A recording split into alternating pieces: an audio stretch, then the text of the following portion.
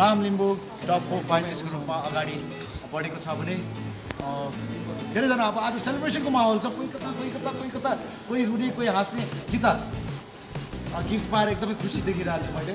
So yes Geeta Sharma from Sikkim.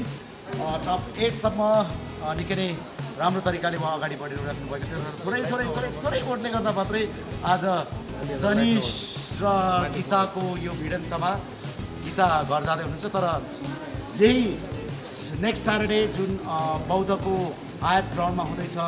The voice of Nepal season टूको grand finale त्यसमा top twelve च्यालेन्जको performance तपाईँले हेर्न सक्नुहुन्छ र सँगसँगै गीताको पनि. And yes okay Anju I can say Anju yes Anju here come come come come come तर गएको हप्ता चाहिँ उहाँ बाहिरिनु भएको थियो टिम राजुबाट र दुईजना जो टप टुवेल्भबाट आउट हुनुभएको थियो। सो टुवेल्भमा सो दुईजना आउट आउट भएकोहरू दुईजना कस्तो लाग्दो रहेछ? हुन त उहाँहरू सँगै अहिले क्लोज क्याम्पमा नै हुनुहुन्छ। एन्ड यस कोच राजु पनि यहाँ हुनुहुन्छ सँगै नै अहिले। And Sanish and winner from team Raju Sanish is here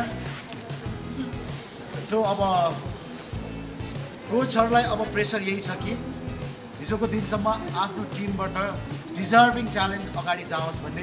तर अब आजबाट प्रेसर छ। अब चाहिँ मेरो टिमले जित्नुपर्छ। यस सपोर्ट गर्नु पऱ्यो हाम्रो टिमलाई। सो सञ्जय कम कम कम कम कम हामी अहिले वैद्युत नेपालको पेजबाट लाइभमा छौँ। हेलो नमस्ते। र आज वैश्व नेपालको यो मञ्च छोडेर जानुहुन्छ। अरू बेलामा हामीले सोमा सोध्थ्यौँ। तर आज चाहिँ लाइभमा लाइभमा धेरै समय नभएकोले गर्दाखेरि टेलिभिजन लाइभमा हामीले सोध्न पाएनौँ तर यही सोधिरहेछौँ कस्तो फिल भइरहेछ? म त खुसी नै छु। मैले अब सकेकोसम्म गरेको होइन। भोट भन्ने कुरा यस्तै हो हुन्छ। भोट भन्ने कुरा भइरहन्छ होइन। तर म खुसी नै छु।